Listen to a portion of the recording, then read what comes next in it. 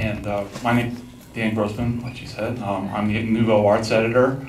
Um, and uh, basically, the reason I'm here is about two weeks ago, Kogonada and I talked by phone. Um, in preparation, I looked at some of his Sight and Sound uh, videos online um, that he was known for before he directed this his first feature. Um, and uh, you know what? Um, the questions were so good last time around. Um, I'm just going to hand it over uh, to the audience at this point for questions because uh, maybe you know a little bit about Kogonada. I think you guys definitely know about John Cho. So um, let me uh, open up for questions now. Uh, woman, uh, ma'am, in the front, in the middle. Hi. Um, there's this scene where Jin is going through the closet in the inn, and he shouts something to himself in Korean. I was wondering if you could tell us what that was. Um, trying to remember. Do you remember?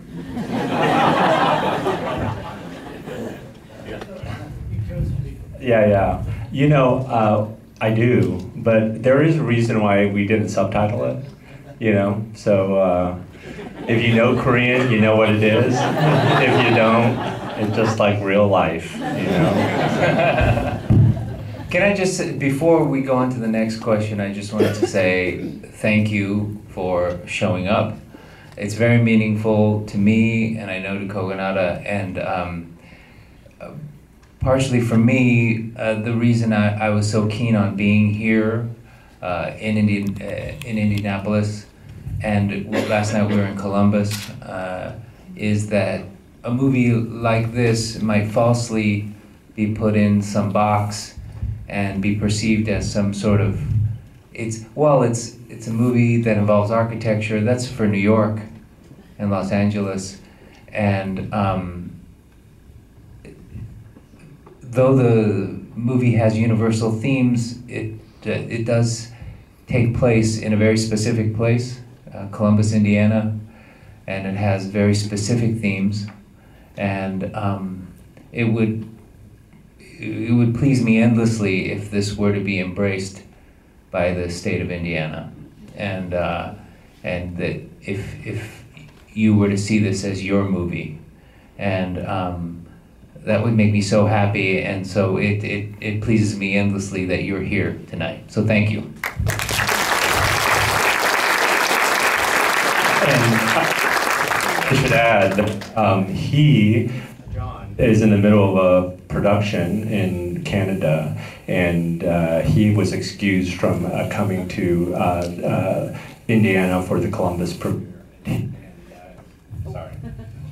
He, uh, he insisted on, on waking up way too early and making the flight because um, this was really important to him. So.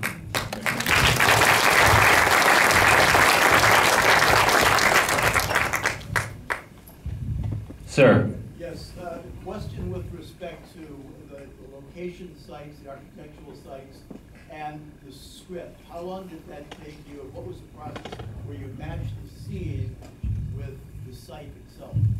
Yeah, you know, I had a general idea of a, of a narrative that I was exploring, and after I visited Columbus, uh, I had read an article in the New York Times, and uh, I took a day trip with my um, family, and we visited, and you know, I said, um, you know, I just fell in love with the town, and I immediately uh, wanted to film there, and putting that place in relationship to this story that I was pondering uh, happened quickly. Like once I saw Columbus. Um, and, and revisited Columbus. Um, you know, it only took about three months for me to have um, uh, like my first draft, which is very close to what, what you saw tonight. So, yeah.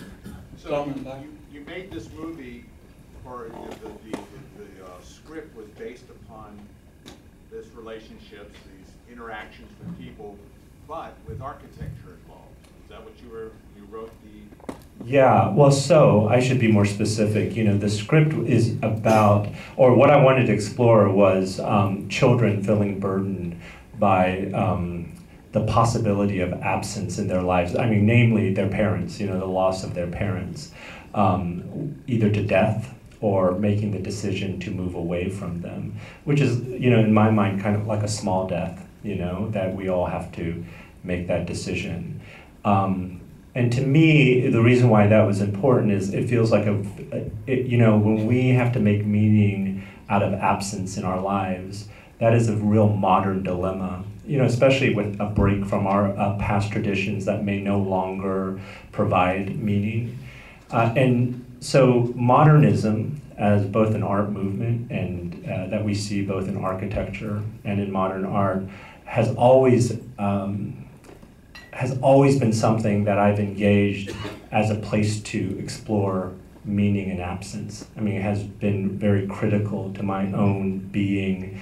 Uh, these forms that really try to reveal the significance of absence, and so um, it was in my, I, I, was a grad student and, and studying that as well.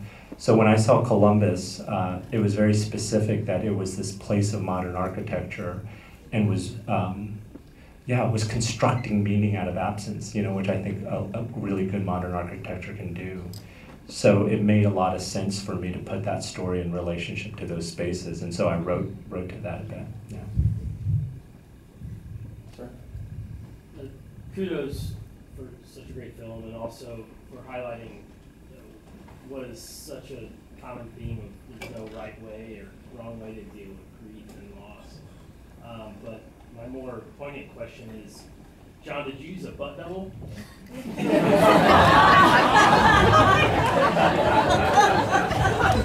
the fact that you ask pleases me.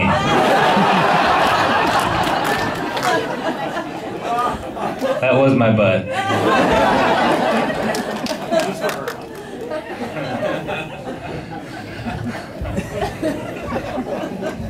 we did. I I didn't know that that was going to happen. If if I did, if I had known, I would probably have watched uh, what I ate at lunch for a few weeks prior. But um, it came up suddenly. Sir. not a good, like no good uh, transition, but uh, Mm-hmm. why this film for Mr. John, and then why Columbus for uh, you know, the film? Were there other cities or other towns? Why this film? Um, for me. Oh, geez, it's. Um, I, let me just say this that uh, before I answer your question, it's like every I've had a couple of moments in my not not to bore you with the, the details of my uh, personal struggles, but I've had uh, a couple of moments in my career where I wondered why why do this? What, how, how do I have fun? How do I find the joy? And um, you know, when you're young, it's like um, it's all so fun, and then you and then then you get married and have children and have a mortgage, and it's hard to not just it's it's it's hard not to have things become just a job, and then you're and then and then I struggled to to to to find joy in it. And, and, and, and that's not a, a knock on the other jobs that I've had. It's just a personal thing that you, you, struggle with internally. And, um, and I've had a couple of moments where certain projects kind of showed me why I'm supposed to be doing this. And um, for me, this film was one of those projects that um, where I felt so fulfilled and so happy. Uh, it it made me realize again, oh, this is why I'm supposed to be doing this, and this is what I'm supposed to do. Why this film? I read it, and um, it was. I was struck by its his I should say not it's his courage to explicitly just to uh, to deal with what it means to be human in a very naked and courageous way. And it was so unusual. It was unlike anything I've ever read. And then I also related to the character of Jin on a number of levels. And and then after that, I really wanted to service this person's vision.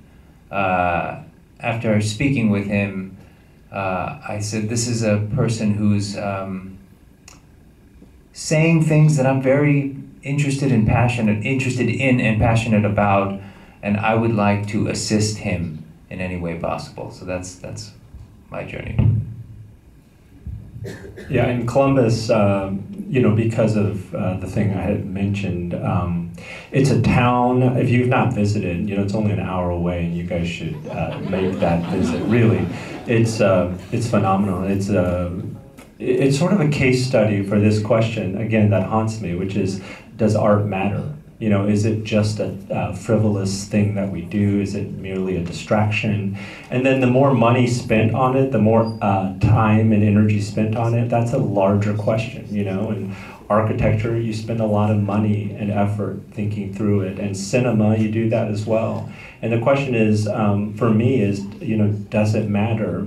And there was a time, and I, the thing I love about architects is they still ask big questions, and they still believe that their decisions matter. You know, I love how they, they still talk about design decisions, and they believe that form and design matters. And in the 20, mid 20th century, there was a movement, you know, with a real belief that architecture, you know, in some ways could change the world. And there's something really, uh, when you visit the town, it's a, both a town of possibility and hope. You see that, you can still feel that desire, but it's also um, uh, there's also a melancholy because you can also feel the limitations of that. You know, you can also realize that the you know it's not uh, a utopian town. Uh, it's not deterministic. You know, art can't won't change everyone. Um, so there's something about the town itself that is uh, has a profound story uh, in and of itself, and that felt really compelling.